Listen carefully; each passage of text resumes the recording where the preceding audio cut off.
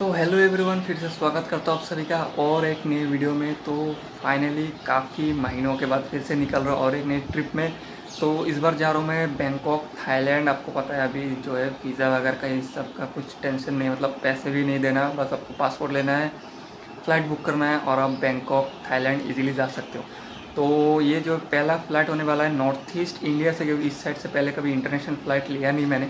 Guwahati airport से आज मेरा फ़्लाइट इंटरनेशनल ये जो है एयर एशिया थाईलैंड जो है, उन लोगों ने स्टार्ट किया रिसेंटली नया गुवाहाटी से बैंकॉक तक। अभी शायद मलेशिया का भी स्टार्ट किया इन लोगों ने। तो तो आज मेरा उसी से फ़्लाइट है एयर एशिया थाईलैंड का गुवाहाटी से बैंकॉक के लिए। कुछ अराउंड ग्यारह बज के समथिंग टाइम है फ़्लाइट का रात का। तो और सुबह हम साढ़े तीन, चार बजे के आसपास वहाँ पर पहुँच जाएँगे बैंकॉक थाईलैंड तो अभी निकलेंगे तो एयरपोर्ट ऑलमोस्ट काफ़ी ज़्यादा काफ़ी दूर है। तो अभी निकलेंगे सीधा एयरपोर्ट के लिए तो आपको मिलते हैं सीधा एयरपोर्ट तो थोड़ा सा लेट हो गया, पर फाइनली पहुँच गए। ये एयर एशिया का चेक इन काउंटर तो जल्दी से यहाँ पर बोर्डिंग पास ले लेता हूँ और इमिग्रेशन भी पास में ही है तो ज़्यादा टाइम नहीं लगेगा। और उसके बाद बताता हूँ कि डॉक्यूमेंट्स और करेंसी वगैरह और इमिग्रेशन में क्या देना रहता है।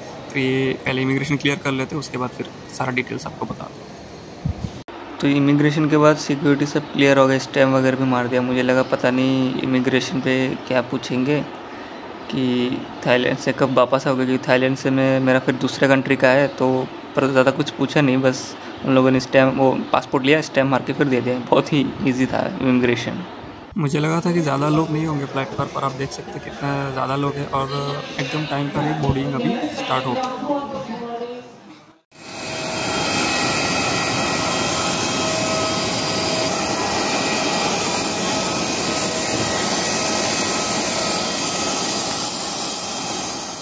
तो जब मैं बोर्डिंग पास लेने गया तो क्या पूछा कि जितना भी मेरा फ़्लाइट के टिकट थे सब उन्होंने वो मांगे पहले और उसके बाद पूछा कि आपके पास थाई भात है क्या? तो मेरे पास नहीं था। मैंने बोला कि मैं ज़्यादा दिन तो नहीं रुकूँगा। मेरा एक टाइप का जो है ट्रांजिट है थाईलैंड में।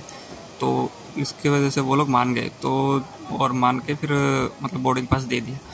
तो बाद में मैंने सोचा कि यहाँ पर अगर वो लोग थाई भात मांग रहे पर मेरे पास तो है नहीं। अगर हम बैंकॉक जाने के बाद फिर से मांग लिया तो फिर प्रॉब्लम हो जाएगा। तो मैंने फिर बोर्डिंग पास लेके मैं फिर से गया करेंसी के मतलब वहाँ पर एक्सचेंज कराने और सेवन थाउज़ेंड रुपीज़ एक्सचेंज करा के फिर थाई बात ले लिया है। तो वही आप कैरी करो अपने साथ। एक तो है फ़्लाइट टिकट आने जाने का जो आपके पास है। उसके बाद थाई बात आप अपने साथ ले लो, क्योंकि अगर यहाँ नहीं पूछते तो बैंकॉक जाने के बाद तो मतलब पूछ सकते हैं। तो इसलिए मैंने ले लिया है। तो ये दोनों चीज़ आप अपने साथ लेके चलो और पासपोर्ट ये तीनों चीज़ इंपॉर्टेंट है अभी के लिए।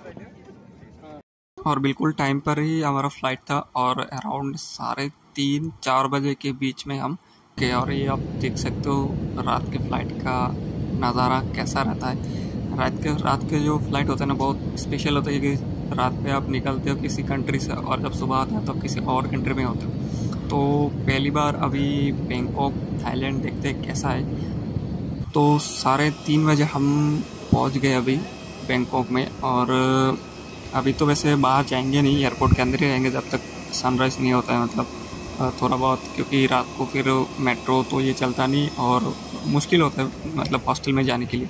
तो जब थोड़ा सा मतलब लेट हो जाए सुबह तो फिर हॉस्टल निकलेंगे। और बाकी यार, अभी पहुँच गए तो सिम कार्ड पहले ले लेता हूँ मतलब इमिग्रेशन क्लियर कर लेता हूँ। इमिग्रेशन क्लियर करके फिर सिम कार्ड देखेंगे कि कितना रेट कैसा रहता है। तो अभी पहले इमिग्रेशन क्लियर करके बताता हूँ, फिर आपको कि इमिग्रेशन में क्या क्या पूछते हैं अभी।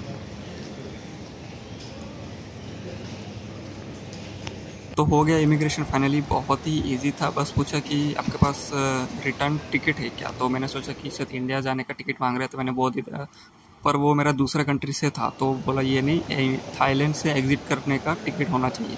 तो मेरा थाईलैंड से जो एग्ज़िट करने का टिकट था, वो दिखा दिया मैंने। फिर वो देख के उन लोगों ने स्टैम्प मार दिया। कोई भी मतलब करेंसी के बारे में नहीं पूछा, बस वो टिकट दे के स्टैम्प मार के दे दिया। तो ये है जो डी एम के एयरपोर्ट है, और एक दूसरा एयरपोर्ट है, वो इससे ज़्यादा बड़ा है। तो एकदम टाइम पर तो पहुँच गया अभी बाहर निकल के मतलब एयरपोर्ट में ही सिम कार्ड मिल जाता है तो पहले सिम कार्ड ले लेता हूँ। सिम कार्ड लेके फिर मेट्रो पकड़ के हम अपना हॉस्टल चले। यहाँ पर आपको देख सकते हैं सिम कार्ड वगैरह मिल जा रहा है। तो यहीं से देखता हूँ मतलब जो अच्छे रेट में मिल जाता है तो वो फिर ले लेता हूँ।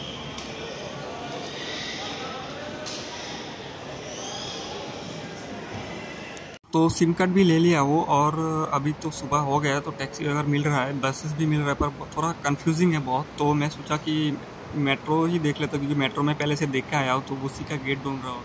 तो आगे आ जाना है, आगे आके जो है इधर से ग्यारह नंबर के पास, ग्यारह नंबर, पंद्रह नंबर गेट के पास आपको इधर से इधर मिल जाएगा, ये रेड लाइन वाला जो है मेट्रो तो पंद्रह नंबर गेट के पास जो है आपको ऊपर आ जाना है यहाँ से। पंद्रह नंबर गेट के पास यहाँ पर जो है रेड लाइन मेट्रो मिल जाएगा। तो देखिए जब आप उस लाइन से आ जाएँगे ना पंद्रह नंबर मेट्रो के पास तो आपको याद इधर सामने ही यहाँ पर पीछे बोर्ड है। और शायद यहीं से या फिर आगे से एक बार देख लेता हूँ मैं। हम्म, यहीं से जो है आपको आगे जाना है क्योंकि इधर का ही बोर्ड दिया हुआ है जाने के लिए। ले लिया भाई टिकट बीस हाथ का है ये। यहाँ के व्यू देखो पूरा दोनों इंटरनेशनल एयरपोर्ट का व्यू दिख रहा है।